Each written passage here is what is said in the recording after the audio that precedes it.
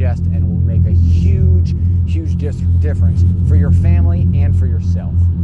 So, definitely, if you like this kind of stuff, definitely like, subscribe. I greatly appreciate it. Comment.